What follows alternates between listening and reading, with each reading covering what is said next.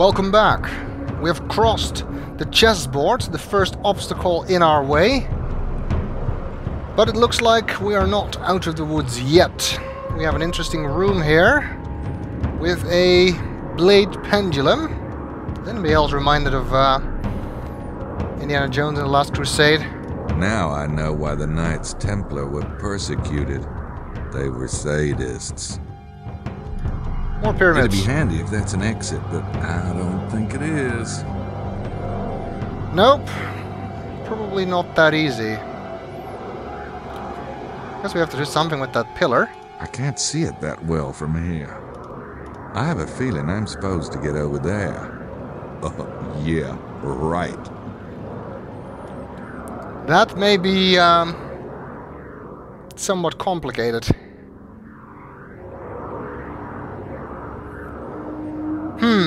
We have a rotating ring, a deadly pendulum.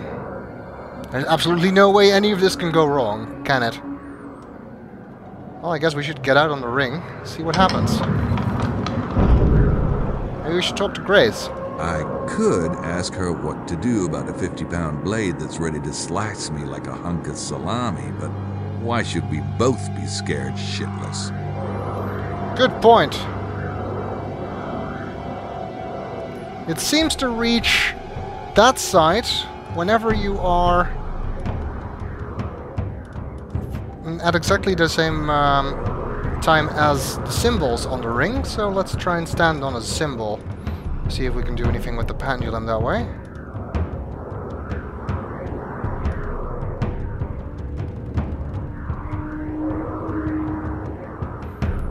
Because yeah, you can move around and stuff. Oh hey, look, there's the exit. I don't have time for that now. Not that we could get there anyway, it's kind of a long drop. Let's see what happens. I have a feeling this is not going to end well, but let's try it anyway.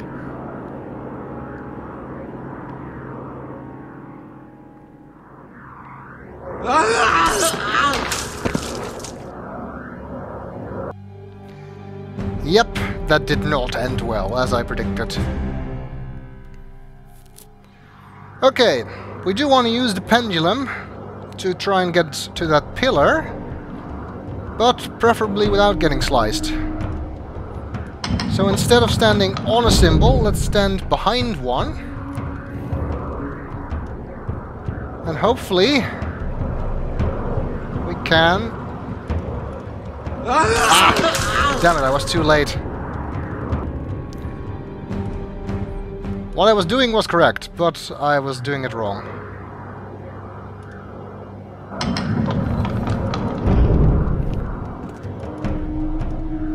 You need to grab onto the pendulum, but the timing of it is kind of sensitive.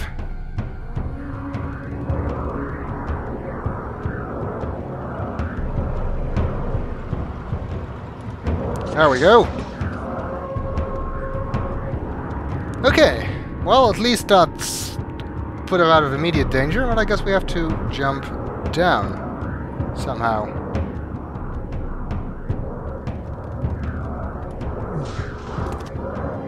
I'm starting to really hate this place. Also, it lo really looked like he missed, didn't he? Didn't it? Uh, but apparently we did make it. What the hell do we have here?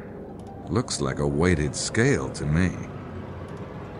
Looks like a weighted scale to me. Gold ingots. I could just pick 'em up and try to go home, but I have a feeling this room would be prepared to stop me. I'm guessing we have to match that somehow? Let's see what happens. Can put things on the scale.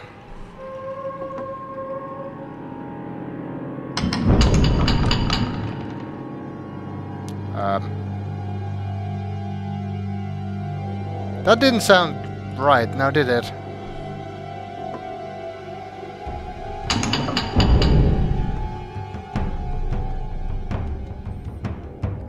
Is that supposed to happen?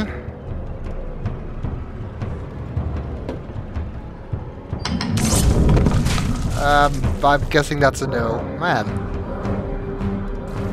Okay, we're gonna need some expert help with this. Gracie, can you give me a rundown on the meaning of the circle? It represents eternity, fertility, and perfection. Uh, okay. Okay, eternity, fertility, and perfection. Now this uh, part either requires you to have a long memory or to reload and go back to a place where you can use SIDNEY to check this. Because um, the actual solution to this puzzle was presented in the SIDNEY article on Alchemy the Circle. It said, symbols that are sometimes used to represent the circle include the egg, unity, the pomegranate, fertility, and the infinity symbol, infinity. So those are the ones we need to put on the, the skills. So we have the uh, egg.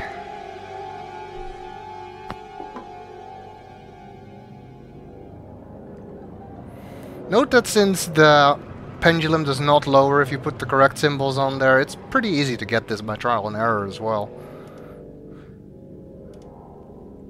The pomegranate was the second one.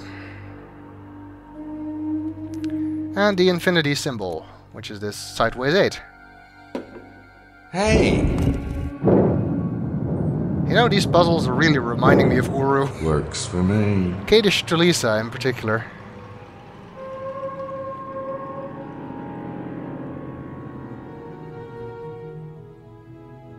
I don't hear anything. Just walking. There's something I've been wondering. I I read about the vampires looking for the wandering Jew. He really exists, doesn't he? And it has something to do with the blood of Jesus? Uh, yes, Grace. But it's not the way the legends claim, is it? Jesus cursing someone to go on. No. The vampires didn't get the blood of Jesus, but someone else did. Ah, yes. Ali, the headmaster's son, was among those who accompanied Jesus back to Jerusalem. For three years, he watched Jesus teach. It was, well, amazing. But in the end, neither he nor his father could stop Jesus from his course. The day of the crucifixion, Ali's father was so ill with grief that he had to be carried from Golgotha. Only Ali was left to keep vigil. Ali could not believe it was ending. All the promise of the Kanosh Kanaya, all the centuries of planning were being destroyed. Jesus was allowing it to be destroyed. Something in him rebelled. He remembered Sine's words, and in his grief and rage, he thought he might be able to save the blood in himself. He did not mean to become the Kanosh Kanaya.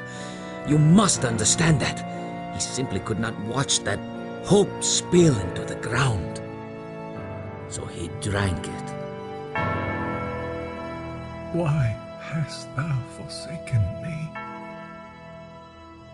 Your fingertips are worn smooth, but I don't get it. If you've got the power of the Kanosh Kanaya, why didn't you stop the vampires a long time ago? I promised my father I would not use the power. Never. Not for anything. It is not mine to use. Ah, it was the only way I could live with what I had done. Never? Not for anything? No grace. Not for anything. But that must be. That must be. It is all right. There is work to be done. Do you hear anything now?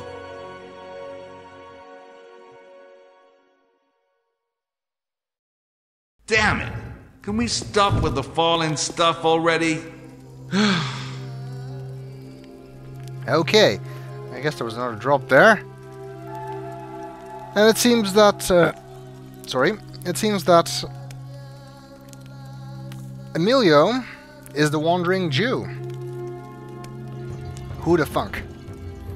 The guy is old, and that also explains why we did not find any fingerprints for him. Because he doesn't have any anymore. That must make it really difficult for him to get uh, through airport security. Because most countries take your fingerprints, or most countries, at least Japan and the US do. well, anyway, the, they take your fingerprints when you try to enter the country nowadays. Let's see what we have here. Another uh, puzzle, I suppose. King Solomon. I wonder what he's got to do with this place. What's his temple? Um, let's radio Grace.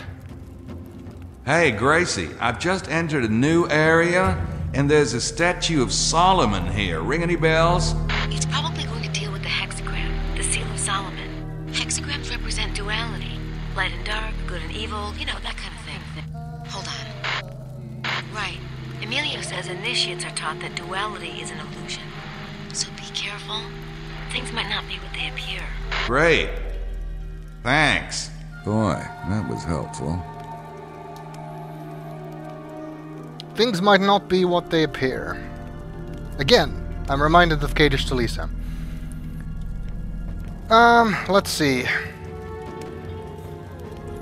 Latin. Guess I gotta figure out what that says.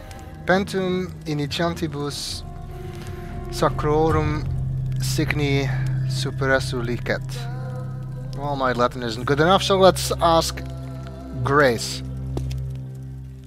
Grace, I need a translation. I think it's Latin. Pentum initiantibus sacrorum signi superesse licet. Okay, let me see. It means beware. Only the initiates of the mysteries of the seal may survive. Is everything going okay? Piece of cake. Piece of very dangerous cake. Um, let's see. Well, I think we found the hexagram. Why are some of these places so dark? It's too dark to do anything in there. I guess we need to deal with the light ones first. Let's see what we have. More Latin by looks of things.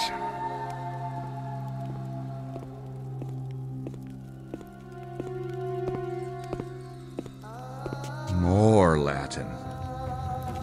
What does this say?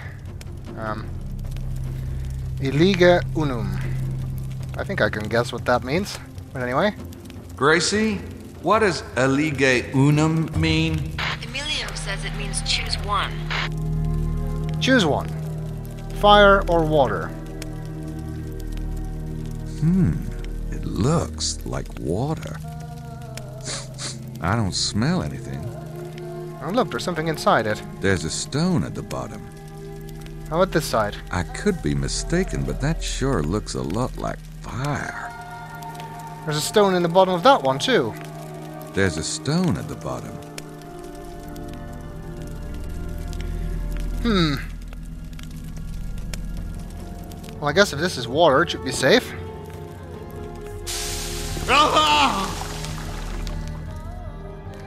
Nope. Not safe. Um, it's actually quicker to restore. The... Well, if things are not what they appear, maybe the fire is safe.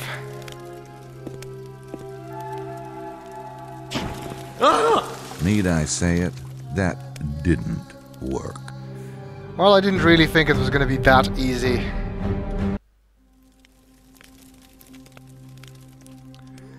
Okay, well maybe we need something else. Let's see what we have here.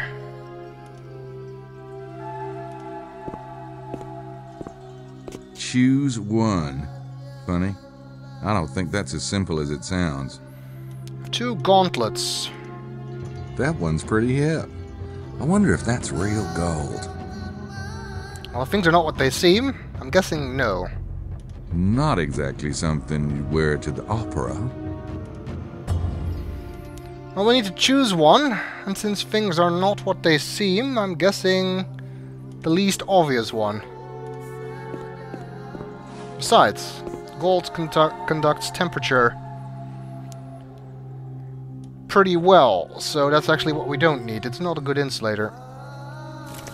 Um, let's see, maybe that allows us to get one of these stones. Again, the easiest one to get seems to be the water one. But, if things are not what they seem, I'm saying we go with this one.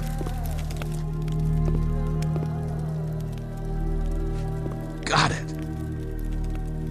That worked.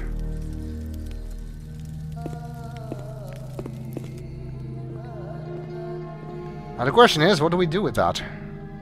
Where's Gabriel going?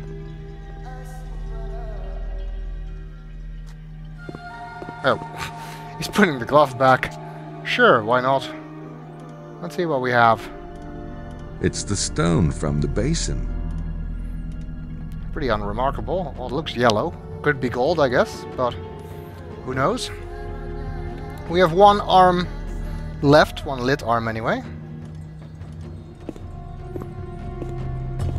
A Eliga Magistrum. Gee, Morus Latinus. Those knights were well educated, weren't they? Uh, it's choose something. Let's ask Grace. Grace, can you translate Elige Magistrum? Hold on.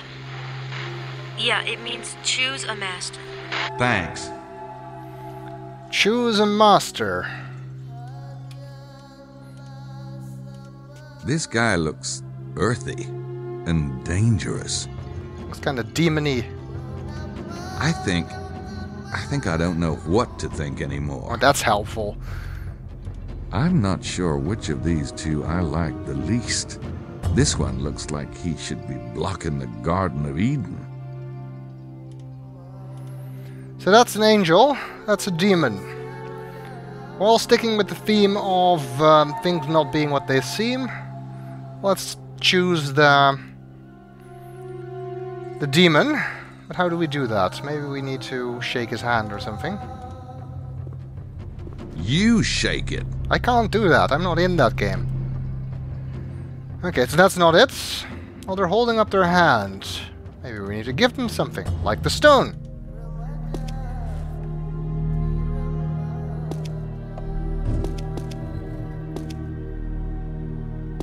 Well, that did something.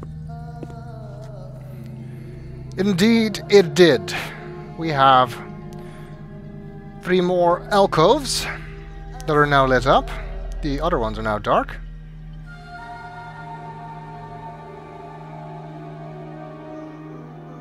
So we need to decide what to do with it.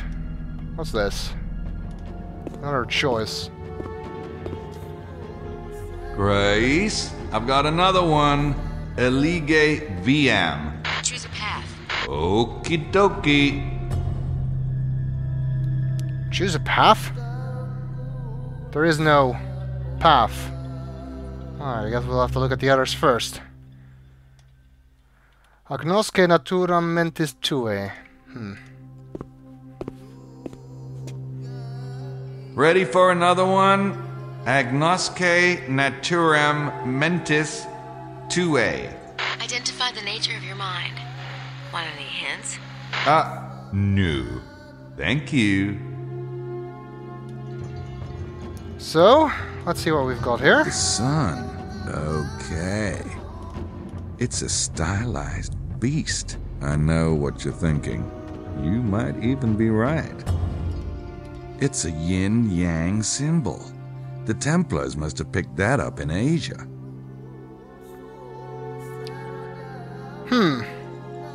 Well, the nature of the mind was supposed to be duality, according to all of this uh, mumbo jumbo we read. So I suppose it's that one.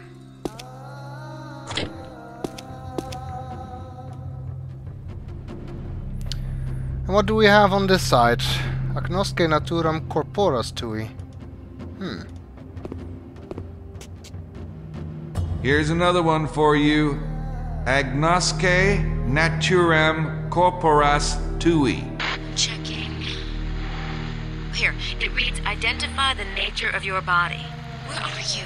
Well, it ain't Kansas. I'll buzz you later. How do we do that? It looks like I'm supposed to point that thing at one of those two devices. Let's see what those two devices are. I think it's a mirror, but it's tilted toward the ceiling. Let's see what this is. Looks like something to step on. The question is, do I want to step on it? Well, I guess we have to try. All right, here goes. Oh, that's disgusting.